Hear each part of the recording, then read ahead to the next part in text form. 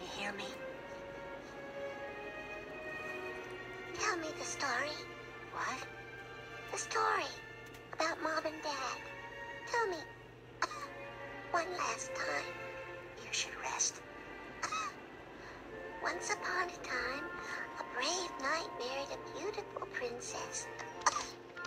and they had two sons, but they wanted a daughter too. So they planted a garden.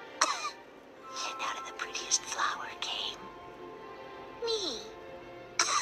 and so mom and dad took you home. And every night at bedtime, they'd come in and say, Who's the cutest girl? And you'd say, I am. And they'd ask, How'd you ever get so cute? And you'd say, I was born that way. And they'd say,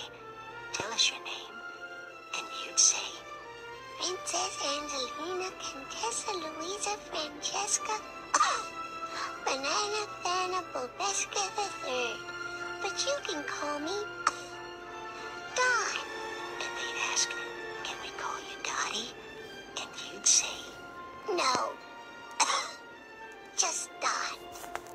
Call me Dottie and you